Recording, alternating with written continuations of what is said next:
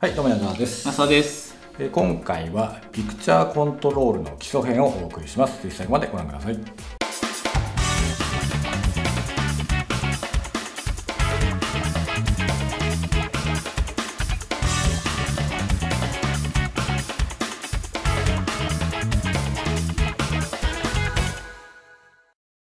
はい、改めまして矢沢です。浅です。えー今回はピクチャーコントロールなんですけれども、基礎編ということなんですが、まあ、我々ね2人ともあのニコンを使っているので、ニコンのカメラをね、えーモチーフにちょっとお話しすることにはなるんですけれども、えーまあ、ソニーさんもねキャノンさんも同じような、えー機能というかメニューはあると思いますので、えー応用はできると思いますので、引き続きご覧いただけると大変嬉しいんですけれどもまずですねまあそうは言ってもカメラのどこにあんねんっていう話ですけれど。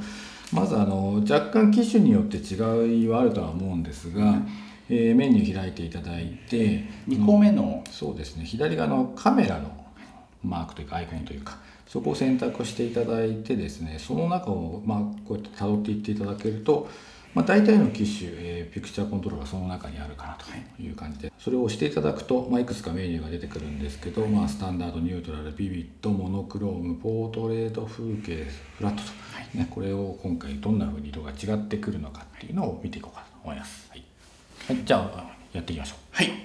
じゃあ最初スタンダードですね。一番最初スタンダードになってると思います。そうですねはい。じゃあ続きましてニュートラルですね。はいスタンダードに比べてコントラストが下がった感じですね。で少しふわっとしてるような。はい、そうです。ね。はい。まあ、ニュートラルっていうので、まあ、中間っていうことなので多分コントラストを下げてなるべく中間に寄せようとしたのかなっていう。ちょっと見比べてみましょうか。やっぱりコントラストが下がって少しふわっとしてるようなイメージですね。ニュートラルでも悪くないけどね。後で加工のことを考えたりするとちょっといいかもしれないですね。JPEG で撮る方は、じゃあ続きましてビビット。はい。まあ、ビビットっていうのは鮮やかな感じですよね、なんであとコントラストも上がってますしスタンダードと比べてもコントラストも上がって色が濃くなって肌の色がくっきり出てますね。だいぶサイドがかった感じがしますね。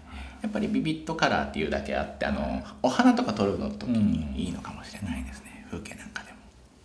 人物撮る時もこうやってなんか雰囲気出すのにうん。ちょっと設定変えるだけなので、はい。ここまで変わるので使ってみてもいいのかなって思います。続きましてはい。モノクロです。まあ読んで字のごとくというか。まあ、もうわざわざモノクロで撮る機会はあんまりないかな。ないですかね。まあ、うん後から白黒にすることもできますからね。白黒で撮ってしまうと、後からカラーには難しい。でも面白いのがローで撮っとくとちゃんと残ってるんですよね。ロープラス JPEG で撮ると、うんローの方はちゃんと色が残ってて JPEG の方はモノクロっていう風にできたりするのでそういうのをそういう風に使い分けてもいいのかもしれないです、はい。じゃあ続きましてポートレートモードなんか使う機会が多そうな。うん。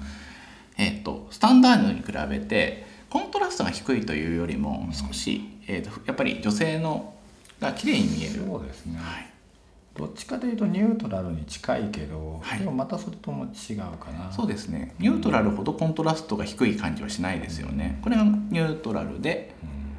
ポートレート。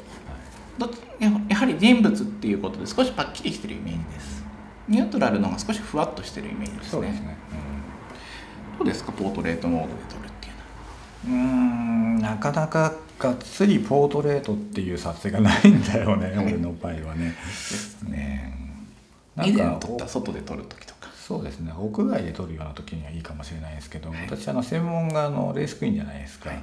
そうするとポートレートにしてしまうとそのコスチュームのビビット感とか、はい。質感が逆に落ちてしまうという、まあ、そこせめぎ合いなんですけどね。じゃあ逆にビビットにしちゃいます。そうすると肌がもうですしビビットにしちゃうとやっぱりサイドが上がってるのそうなんだでよね。あのトーンジャンプって言ってあのデータがなんかあの赤とかだとすぐ。そうなんだよね色を超えちゃうのでやっぱりスタンダードで撮っとくのが無難っていう。結局そうなっちゃうんですよ私の場合は、はい。ステージ撮影もそうじゃないですか。そうですね。ステージ撮影の場合なんかコントラスト下げたりしてむしろ、はむしろね、い、潰れないようにとか飛ばないように気を使ってます、じゃあ続きまして、はい。風景。人物風景ってのが変な話ですけどね。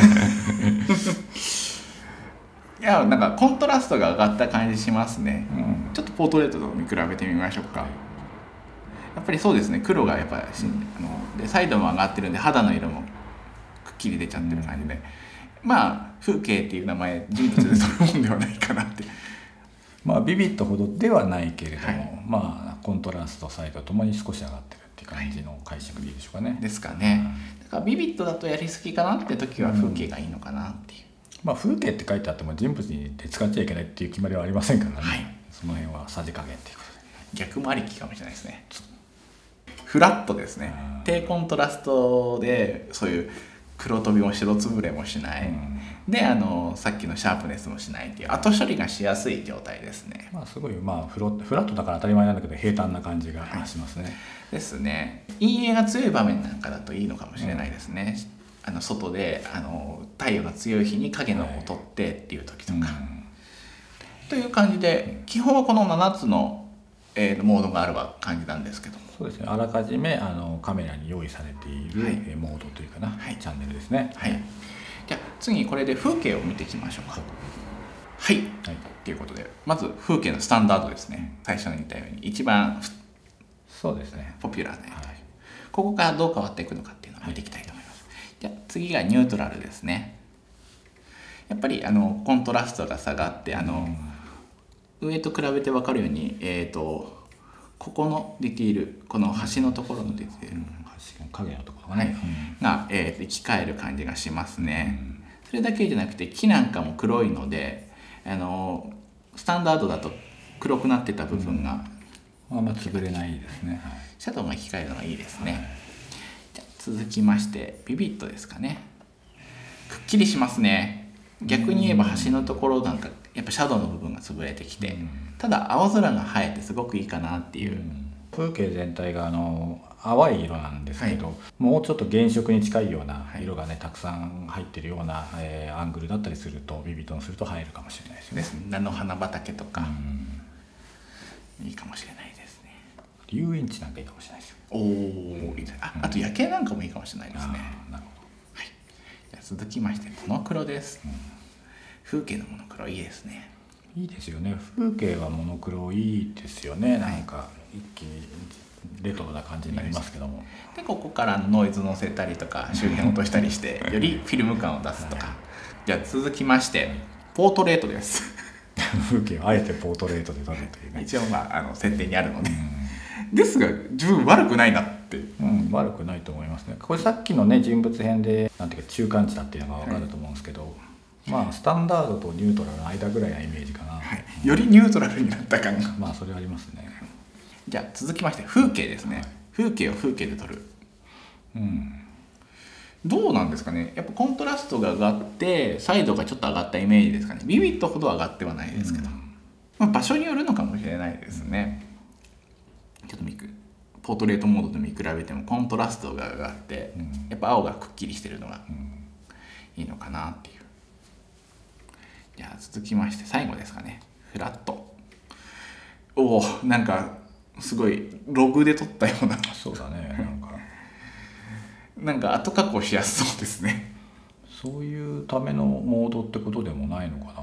可能性はありますよね。議事郎というか、うん。データを生かしてるのかもしれないですね。まあこれあくまで増田の試験なんですけど、JPEG で撮っても何ていうんですかこういうやっていろいろ生かすっていうシャドウも生きててハイライトも生きてるので、まあ後でねあの色を重ねている感じ、なんかイメージとしてはなんか自分はあの音作りのイコライザーが一直線に並んでてそれを後から上げも下げもできるっていうそのフラットなまさにね文字通りフラットな感じのイメージですけどね。ね。素材のままって感じにしてるだから後加工を前提に取る取るんであれば、これがいいのかもしれないですね。っていう感じで、うん。えー、と風景と人物両方、えー、と初期設定にある、えー、とピクチャーコントロール見てきたんですけどいかがでしたか？まあ、だいぶ違いますよね、はい。改めて見ると。ですね、設定1個変えるだけでここまで変わるので、うん。撮影の時にちょっといじってみるっていうのもありかもしれないですね、あとはどういった場面にどれを当てはめるかっていうところは、まあまあ、個人個人の応用になってきますよね。ですね。風景だから風景と思わずに意外とビビットの方が合うとか、あの後加工が好きな人だったらフラットで撮るとか、いろいろできるかもしれないですね。まあ、そこは目的に応じて皆さんいろいろね自分ご自身のカメラで試してみるのが一番いいかなって思います。はい。では基礎編はこんな感じでしょうかね。はい。じゃあ以上マサでした